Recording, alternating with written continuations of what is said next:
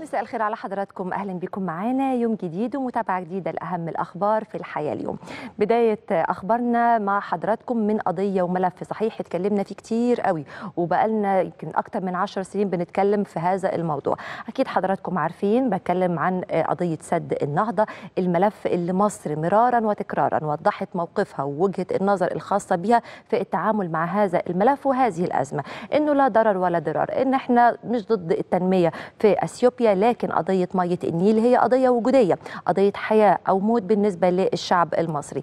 الرئيس عبد الفتاح السيسي في كل المحافل الدولية شرح طبعا الأمر أمام المجتمع الدولي إزاي مصر مرت بمراحل متعددة وسنوات طويلة من التفاوض علشان نوصل لتوافق ونوصل لتفاهم. لكن بالتأكيد زي ما بنتكلم وزي ما بنتابع إن كل البدائل وكل السيناريوهات مفتوحة للتعامل مع هذه القضية المصرية وحفظ حق الشعب المصري في الحياة. تطور مهم حصل النهارده في هذا الملف وخلينا نشوف يعني تداعياته أو هيحصل إيه أو لأي مدى هيحرك الأمور أو إن إثيوبيا فعلا هترضخ أو إنه هتراجع موقفها إنه سياسة ال ال الإرادة المنفردة وطبعا القرارات اللي يعني بتبقى بمثابة الأمر الواقع الكلام ده طبعا مرفوض جملة وتفصيلا من قبل الدولة المصرية. الخبر بقى بيقول لحضراتكم إيه؟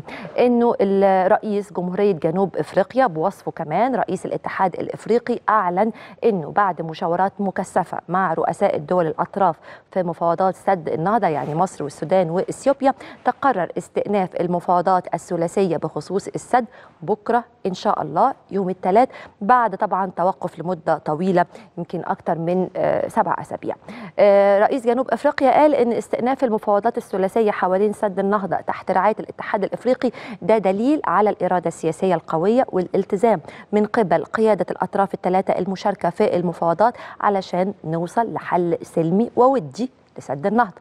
وقال كمان إنه عشان يتم إعادة لتأكيد للثقة الموجودة عند الأطراف في عملية المفاوضات بقيادة إفريقية وإن ده بيتماشى مع مبدأ إفريقي مبدأ الافريقي بالنسبة للحلول الإفريقية للمشاكل الإفريقية وده أحد ركائز الاتحاد الإفريقي. ده الكلام أو البيان اللي خرج من رئيس جنوب إفريقيا رئيس الاتحاد الإفريقي بخصوص الأزمة وبخصوص عودة واستئناف المفاوضات ثانية. عندنا في مصر تصريح من دكتور محمد عبد العاطي وزير الموارد المائية والري. أعلن إن مصر هتشارك في الاجتماع اللي دعت ليه جنوب إفريقيا.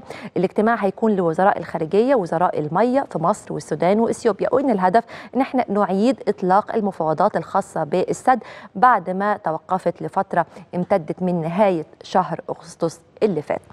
وزير الري برضو من ناحيته أكد على إن مصر مستعدة للتفاوض بجدية والحقيقة إحنا في كل مرة بنقول إحنا مستعدين للتفاوض ومستعدين إن إحنا نوصل لحلول. آه لكن طبعا في إطار ملزم وإطار قانوني ملزم للجانب الإثيوبي وإن إحنا عايزين ننجح هذه المحادثات علشان نتوصل لاتفاق عادل ومتوازن يحقق مصالح الدول الثلاثة. وزير الري كمان أعرب عن تقديره للجهد اللي بتبذله دولة جنوب أفريقيا في رعاية هذه المفاوضات والاهتمام اللي طبعا بتوليه لهذا الملف الحيوي اللي بيمس مصالح الدول الثلاثة ومقدرات شعوبها.